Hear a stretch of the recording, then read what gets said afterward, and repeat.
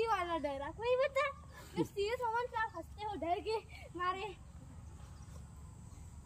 ऐसा होमवर्क करना भूल गए।